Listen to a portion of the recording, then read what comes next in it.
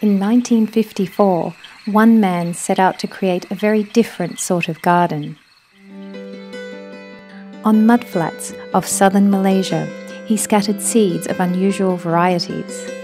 One was called Airport, another Stock Exchange, and perhaps hundreds of seeds called Skyscraper. The land beneath the feet of Singaporeans today is thanks to the careful tending of a master gardener and founding father of one of the finest nation states the modern world has to offer. Today we're having tea with Lee Kuan Yew,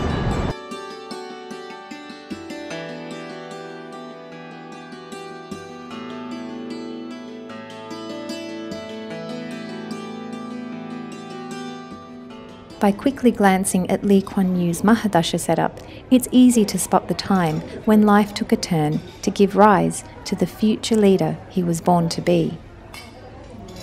As Singapore's first Prime Minister, Lee Kuan Yew transformed third world mudflats into a first world oasis in an astonishingly fast 30 years.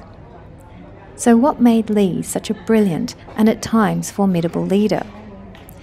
To me, the story of Lee's stars features loyal camaraderie, raw masculine power, and the stamina of a prolific artist who doesn't know when to stop. Just look at that 11th house, where the two friends and natural leaders, Sun and Mars, sit in the house of the kingdom, Leo. Here, their combined efforts are multiplied further by the unrestrained fighting ambition of Rahu. This is where Lee's heroic strength is coming from. He was once quoted as saying, Anybody who decides to take me on needs to put on knuckle dusters. If you think you can hurt me more than I can hurt you, try. This house also exactly expresses the name of the political party that Lee Kuan Yew co founded, the People's Action Party. People, the 11th house, Action, Mars. What's more, Sun, Lord of the Eleventh, in his own house, associating with Mars, Lord of the Second House, is producing a powerful Dhana Yoga. Let's take a look at his 12th house, governed by career driven Virgo. Again, it's a house full of great friends. This time, Saturn, Mercury, and Venus are together.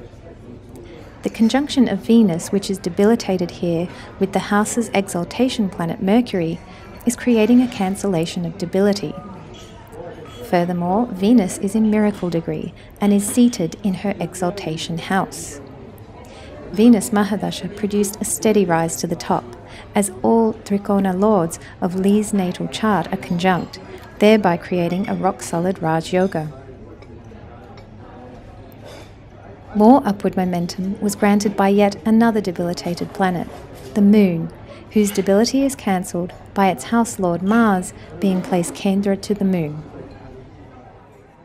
As with every chart, there's always so much more to say.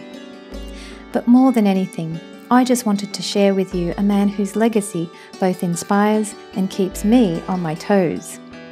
Lee Kuan Yew, you've shown me how much can be achieved in a very short space of time, and the value of not only keeping one's house in order, but putting in extra effort to make it shine. Not many people can look back over the course of one lifetime and say they created a country. Ladies and gentlemen, would you kindly take off your knuckle dusters and join me in applauding the world's longest serving Prime Minister, Lee Kuan Yew.